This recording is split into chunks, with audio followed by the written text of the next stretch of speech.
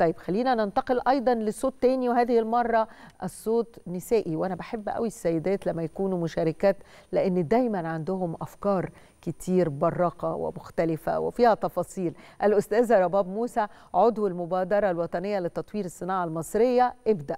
مساء الخير يا فندم أستاذة رباب. مساء النور يا فندم ازي حضرتك؟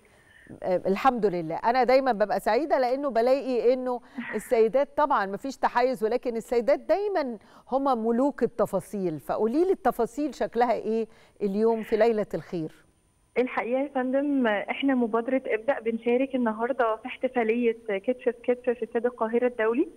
إحنا بنشارك من خلال حاجتين. أول حاجة منصة كلمني إشارة. المنصة دي طبعا تنفيذا لفخامة الرئيس لتعليماته بضرورة إن إحنا يبقى متواجد معانا دايما لغة الإشارة في الفعاليات المختلفة.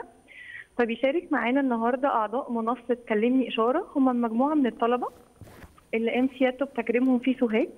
هم بيشاركوا معانا في ترجمة الايفنت بلغة الإشارة علشان يقدر يوصل بشكل متكامل لكل الناس. طبعا.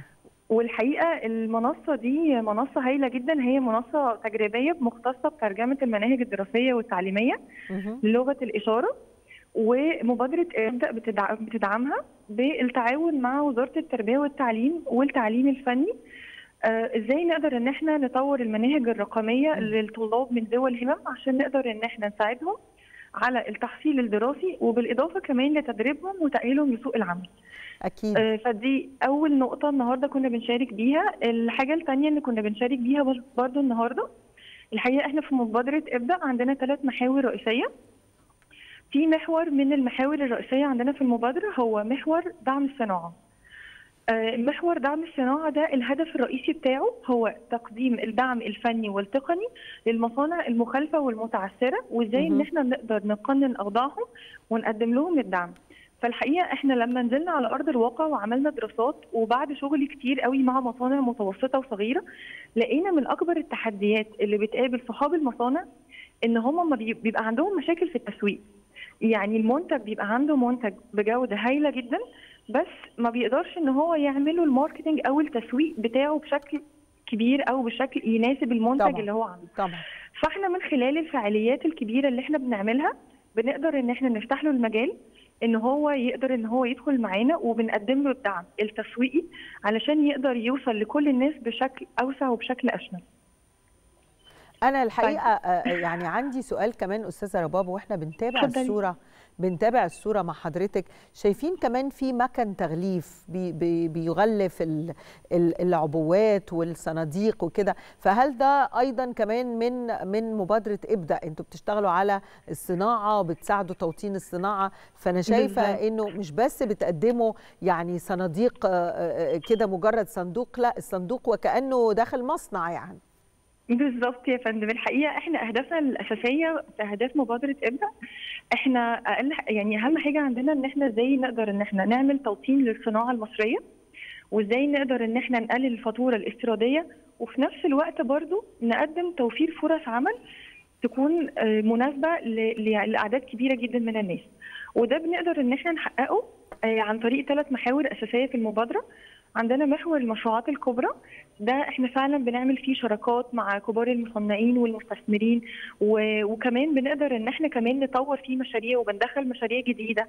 وكمان برضو المبادرة بتقدر إن هي تجمع كبار المصنعين تحت نطاق واحد كلها آه، مع إبدأ عشان نقدر إن إحنا نوطن الصناعة. أكيد. وده الحقيقة عملناها في حاجات كتيرة قوي زي في الأجهزة المنزلية وبالشراكه مع مستثمرين مصريين وكمان شريك أجنبي. وبرضه نجحنا برضه إن إحنا نقدر إن إحنا نجذب استثمارات كتيره قوي في صناعة الأسمدة والمنتجات الكيماوية والمطاط واللدائن وكتير قوي من الصناعات. أكيد. الحقيقة أنا أنا سعيدة جدا بابدا لأنه الحقيقة آه، مهمتها كبيرة ومهمتها مهمة. أنا بشكرك جدا أستاذة رباب موسى عضو المبادرة الوطنية لتطوير الصناعة المصرية واللي قالته أستاذة رباب ده فعلا مهم. بتتكلم عن لغة الإشارة فاذا أنت بتتكلم عن حق آه، آه، مواطن وبتتكلم عن حقوق إنسان. أنت بتحققها يعني لأنه أنت مؤمن جدا بأن أنت مصر بلد بتاعة الحقوق الإنسان. تحب قوي إن هي أكتر واحدة البلد بتاعة الحضارة والتاريخ. طبيعي جدا إن هي آه، تقدر تكمل كل حاجة ممكن تقدمها للإنسان خصوصا ابنها ابن البلد دي. كمان إنه مبادرة إبدأ بتقدر إن هي تساعد المصانع المتعثرة فبالتالي أي مصنع صغير مصنع ما عندوش من الخبرة أو التسويق أو إنه يقف مع نفسه أنت بدل ما تبدأ صناعة من جديد لأ عندك مصنع بس متعثر فأنت تساعده وبالتالي أنت بتكسب مصنع موجود أيضا. فيه عمال بتحافظ على عمالة بتحافظ على أكل عيش الناس وبتساعدهم وبالتالي تقدر تقف كمان والمصانع تزيد وتشتغل بدل ما يقفل ويمشي العمال بتوعه. يعني أنا سعيدة جدا لأنه كل مؤسسة منهم زي ما شفنا على الشاشة بتحاول كمان تجتهد باللي هي بتقدمه في المجتمع. يعني بتحاول تساعد في مبادرة كتف في كتف وكمان من اللي هي بتقدمه في المجتمع. فالحقيقة الصورة بتتكلم كتير بتتكلم خير وبتتكلم عن الحقيقة حاجات جميلة ومختلفة وإن شاء الله تكمل. وإن شاء الله المبادرة دي أنا متأكدة إن هي هتخلينا كده معديين في هذا الشهر بحاجات كتير جدا. ربما في آخر الشهر نحس إن إحنا أنجزنا كتير وأخدنا بإيد أهالينا وكتفنا كان في كتفهم.